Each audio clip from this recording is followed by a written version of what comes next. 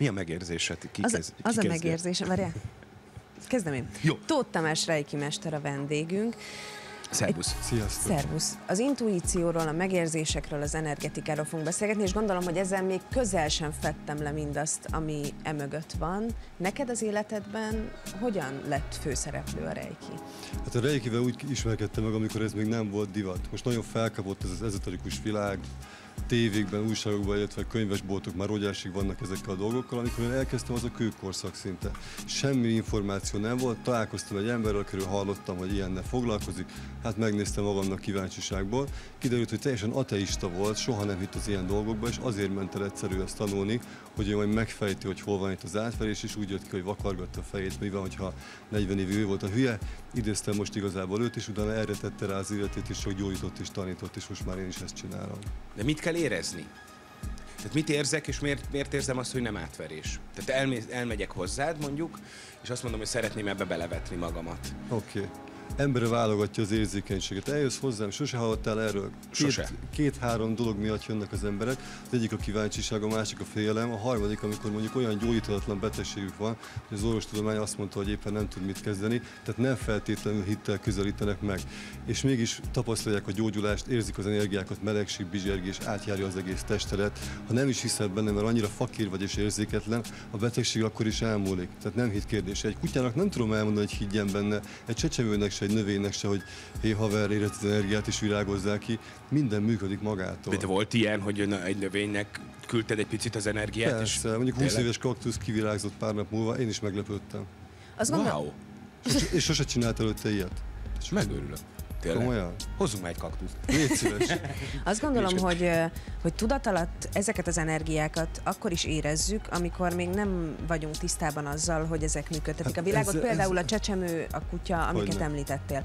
Hogyan tehetőek ezek tudatossá, illetve hogyan fejleszthetőek, vagy hogyan fejleszthető ez az érzékenység? Oké, okay, könyvből ezt megtanulni igen nehéz, erre gyakorlatok vannak. A tanfolyamokon például, amiket tartok, kapnak az emberek egy úgynevezett beavatást. Ez a misztikus része a dolognak, bár én nem vagyok annak a híve, hogy ezt misztikusan kezeljük, ami során kitisztulnak az energiacsatornák, és képessé válnak energiát közvetíteni.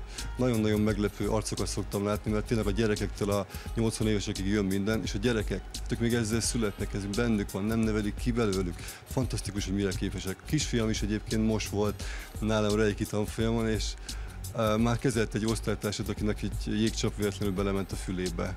Úgyhogy volt lehetősége gyakorolni, és érezte ő is a melegséget, vagy az energiát, meg a másik gyerek is nagyon jó De volt. ezt hogy kezeljem el, hogy dörzsölöd a kezed? Dehogy is, vagy? ez nem a Miyagi mester a Karate Kidből. Ja, oké. Itt nem, itt egyszerűen csak rá gondolsz, ráhangolódsz, mint egy rádió, átváltasz egy olyan frekvenciára, hogy képes leszel lehozni és továbbadni ezt az energiát.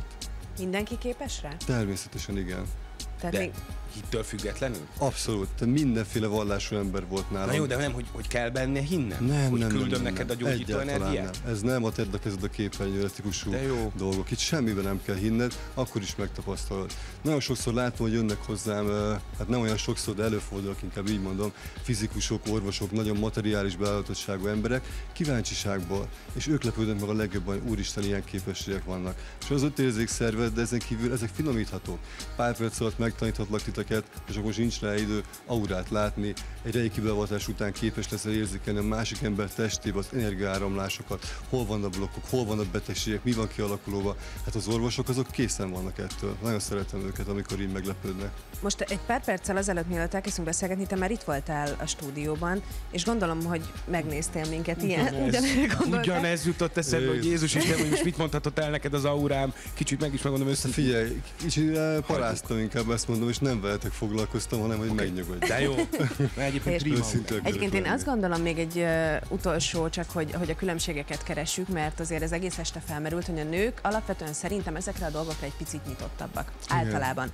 Létezik női megérzés, létezik az a fajta Sajnos intuíció. létezik női megérzés, és nagyon örülnék, ha nem működne ennyire jól, ha őszinte akarok lenni. Ezt ne fejleszétek tovább, kérlek. Ne. benneteket, jó? Inkább visszafelé. Férfi társaid és magad Igen, nevében. igen, kevesebben a vállás, és nyugodtabbak lennénk. Tényleg, abszolút. Ha látod, van még mind dolgoznod. Igen, Fejleszd vissza megérzéseidet. Jó, tehát akkor végül is ez egy mindenki ám számára nyitott dolog, Így van. És tényleg ennyire gyors akkor, hogy egy-két óra alatt már eredményt lehet Figyelj, elérni. maga a, például az, hogy te hozzájuss ez az erőhöz, hogy közvetíteni tudjad, 10 perc. Oké, na hát pont van. Mikor jöttök? Én most. Oké. Én most. Mindenkinek ajánlunk egy jó szombati programot, amíg éppen nem... Köszönjük szépen, hogy itt voltál, de Nagyon nem képzi. Jedivé magát, mert hogy azt hiszem mindentől kezdve bennem lesz az erő. Yes!